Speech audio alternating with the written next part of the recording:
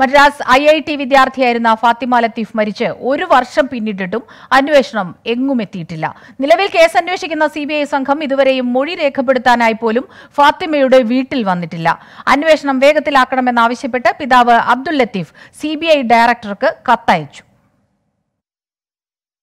കഴിഞ്ഞ വർഷം ഇതേ ദിവസമാണ് മദ്രാസ് ഐ ഐ ടി വിദ്യാർത്ഥിയായ ഫാത്തിമ ലത്തീഫ് ഹോസ്റ്റൽ മുറിയിൽ ജീവൻ ഒടുക്കിയത് മരണത്തിന് കാരണക്കാരൻ അധ്യാപകൻ സുദർശൻ പത്മനാഭനാണെന്ന് ഫാത്തിമ മൊബൈൽ ഫോണിൽ കുറിച്ചിരുന്നു.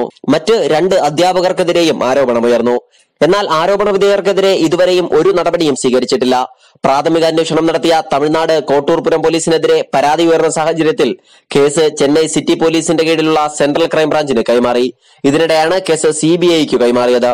സി ബി ഐ ബന്ധുക്കളെ നിരവധി തവണ ഫോണിൽ വിളിച്ചെങ്കിലും ഇതുവരെയും മൊഴിയെടുക്കാൻ എത്തിയിട്ടില്ല ഒരു മാസം മുമ്പ് സി ബി ഐ നിന്ന് വിളിക്കുകയും അന്വേഷണം ഞങ്ങൾ ആരംഭിച്ചിട്ടുണ്ടെന്ന് പറഞ്ഞു. പക്ഷേ അന്വേഷണത്തിന്റെ ഏതുവരെയായി എന്നുള്ളത് ഇപ്പോഴും അറിയാൻ കഴിയാതെ വളരെ വേദനയോടെ വളരെ ദുഃഖത്തോടെ തന്നെ ഞങ്ങളുടെ കുടുംബം അനാഥമാക്കപ്പെട്ട കുടുംബവും ഞാനും എന്റെ ഭാര്യയും എന്റെ മക്കളും അടങ്ങുന്ന കുടുംബം വളരെ വേദനാജനകമായ അവസ്ഥയിലൂടെ കടന്നു പോവുകയാണ് കോവിഡിന്റെ പശ്ചാത്തലത്തിൽ കഴിഞ്ഞ കുറച്ചു നാളുകളായി അന്വേഷണം നിർത്തിവച്ചിരിക്കുകയായിരുന്നു. കഴിഞ്ഞ ആഴ്ച സി ബി ഐ സംഘം വീണ്ടും ബന്ധുക്കളെ വിളിച്ചു. ഉടൻ തന്നെ മൊഴിയെടുക്കാനായി എത്തുമെന്നും അറിയിച്ചിട്ടുണ്ട്.